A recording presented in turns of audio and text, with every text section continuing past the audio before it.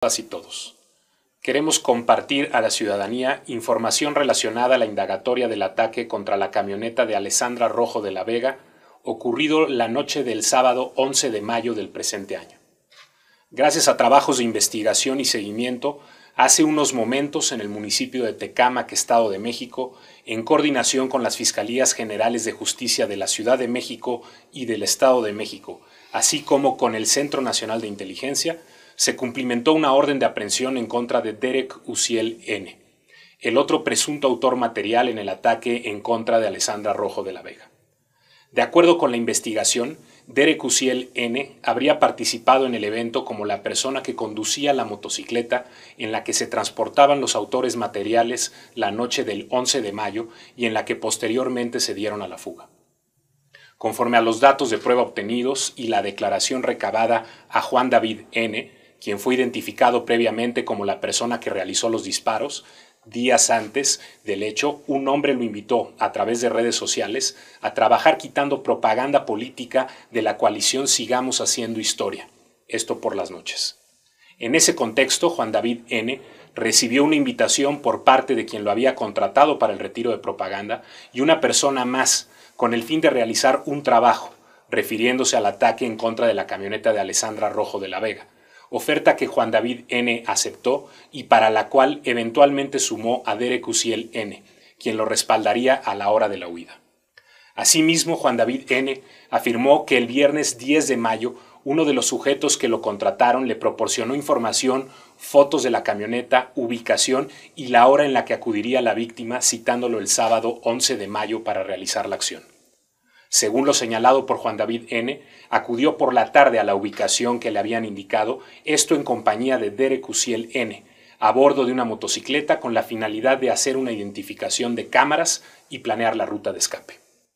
De acuerdo con lo declarado por Juan David N., el sábado 11 de mayo, junto con Derek Uciel N., arribaron a la calle de Albañiles y Lázaro Cárdenas, siendo las 20:45 horas, llegó el sujeto y les dio las últimas indicaciones, recalcándoles que debía disparar en la parte trasera de la camioneta para no afectar la integridad física de la entonces candidata.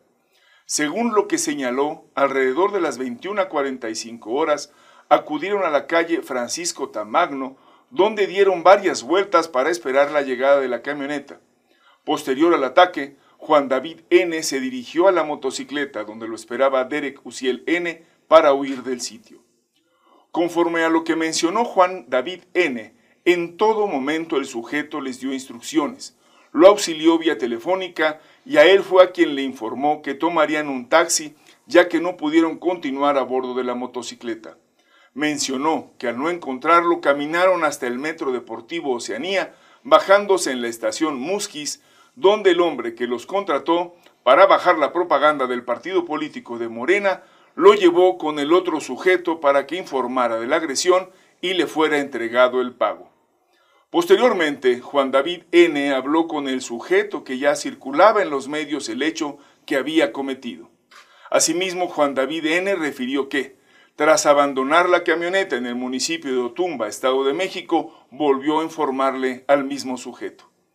El viernes 17 de mayo se realizó un cateo en la casa de Juan David N., quien, tras ser detenido, reconoció que él cometió el ataque.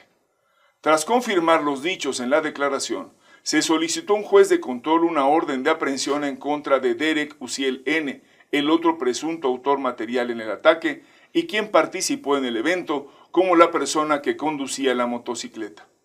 Una vez que fue asegurado, fue trasladado para su certificación médica y para que posteriormente fuera puesta a disposición del juez especializado en justicia penal para adolescentes. Al detenido se le tratará como inocente hasta que un juez determine su situación legal, además se le dará el tratamiento correspondiente por ser menor de edad. En la Secretaría de Seguridad Ciudadana continuaremos investigando de la mano de la Fiscalía General de Justicia. Estas detenciones permitirán contar con nuevos elementos para la captura del resto de las personas involucradas, incluyendo a los autores intelectuales.